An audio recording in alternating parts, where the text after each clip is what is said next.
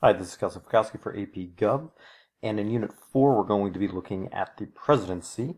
In the last few videos we looked at Congress, and now we're going to be looking specifically at the president, as well as the entire executive branch. So, with respect to presidents, a lot of Americans, of course, just want a president who's powerful and can do many great things from Washington to Jefferson to Lincoln to Roosevelt to Kennedy, amongst other notable presidents.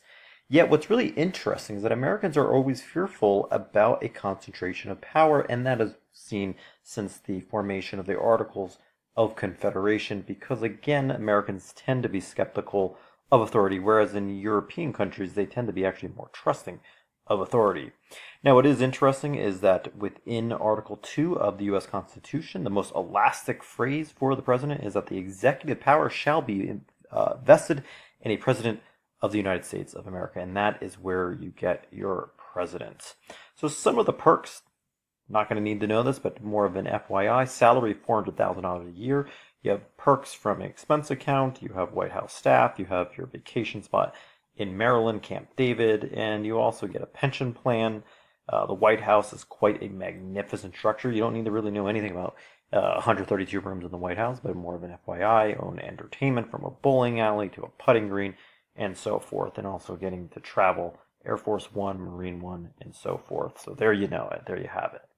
All right, so some of the powers and duties of the president are found in Article 2 of the Constitution, Article 1 being Congress, and Article 3 being the judicial branch. But the president, aka the executive, is meant to administer the decisions made by the legislature. Constitutionally, powers are limited, but the power of the presidency has increased steadily since FDR in the 1930s. That is a very important thing to know in terms of a trend, as you see here illustrated by this political cartoon, as if the executive branch has basically cut off the other branches of power.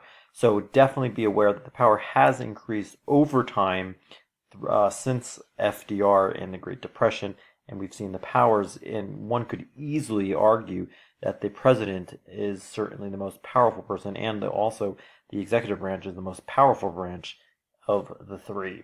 All right, let's continue into part two. So, the presidents, who they are, typically the formal uh, requirements, or not, I shouldn't say typically, but always the formal requirements, you have to be 35 years of age. And 35 to most people today is not that old, but you got to put it in context that 35 years of age you'd be definitely middle age, a little bit older than that, especially when life expectancy was much lower during colonial times. You have to be a natural born citizen, and that means being born on U.S. soil or to an American uh, parent. Uh, that is important. And then you also have to have resided in the United States for 14 years, so you couldn't have just, you know, uh, become a naturalized citizen uh, at birth and then lived your entire life in Sweden. You have to be here for at least 14 years. Now, in terms of informal requirements, and again, requirements are put here in quotes, that historically speaking, most presidents have been white, male Protestants with families. Seldom do you see a non Protestant, especially one who does not have families. Uh, typically, they come from professional backgrounds, but tend to be more political ones, such as former state governors, uh, for example, or some involved in politics to some extent, or especially law. And here you see when you look at presidents, they tend to also have some type of military background as well. So you see Republicans and Democrats have sort of gone back and forth uh, over time. So presidents, how they get there? Well, there are uh, a few ways that you can actually get there. You have, of course, the normal road, which is the elections, and that is you are, of course, being indirectly elected through the electoral college very, very important that you know that they are indirectly elected. Remember, each state has a certain number of electors. For example, California having 55. And in December, those 55, amongst the other electors, go to Washington, D.C., and formally cast their ballot for president. Now, once elected, of course, the president serves a term of four years. You cannot exceed two terms, and that is per the 22nd Amendment. A good way to remember that is 2 2, right? Two terms, 22nd Amendment. And that was passed in 1951, which will officially limit the number of terms to two. Historically speaking, the, the precedent started with Washington, and most presidents tended to heed that advice, although there were a couple, for example, FDR, who exceeded two. And of course, Teddy Roosevelt, interestingly enough, tried to go for that third term, but uh, unfortunately, the Bull Moose Party did not succeed there. But most presidents, how they've gotten there, have been through elections, being elected through office. However, thanks to succession, other presidents have made it other ways. So the vice president, of course, succeeds the president in the event that the president leaves office due to death. It could be resignation or removal. And in the event of a death, uh, you have the 25th Amendment. And that being said, that the vice president becomes the acting president if the vice president and the president's cabinet determine that the president is disabled or uh, is essentially dead. So the 25th Amendment sort of formalizes that process.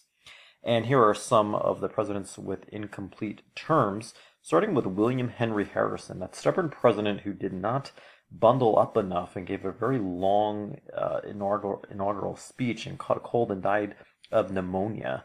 And then all the way to, of course, when McKinley is shot, and then you have Teddy Roosevelt coming in. And probably, actually, the most recent one being after Richard Nixon resigned, was not impeached, resigned, um, and Gerald Ford became president. And then, of course, speaking of impeachment, impeachment is merely an accusation. So to be impeached doesn't mean that you're being removed. It simply means that it's an accusation. Of course, remember the one of the uh, exclusive powers to the House is that they have the impeachment power, so they can level an accusation against the president, or it could be a, a federal judge as well, or somebody within the bureaucracy, and it's the Senate's role to hold the trial. Charges may be brought for treason, bribery, or other high crimes and misdemeanors. Again, not policy dis- disagreements, so they can't say something like, you know what, I don't like the president's stance on gun rights, so as a result, we're going to impeach the president. Again, it cannot be based on policy disagreement. Now, if impeached, the president is tried by the Senate with the Chief Justice presiding, and it handles simply like a trial. Two presidents have been impeached, that being Andrew Johnson and Bill Clinton neither of which was convicted. And again, just to reiterate, Richard Nixon was not impeached. He resigned before impeachment or the accusation was leveled before him. Another pertinent amendment is the 20th Amendment. This is known as the Lame Duck Amendment. Essentially, what this did was the inauguration for the president used to be in March. This is moved back to January because if you're elected in November, that amount of time between when you're removed from office after you're either served your two terms or you weren't reelected is known as the lame duck period. So to prevent inactivity or hasty decisions on your way out because you think you have nothing to lose, well, this is now prevented as a result of the 20th Amendment, which is again known as the lame duck amendment. All right, we're going to end here for now.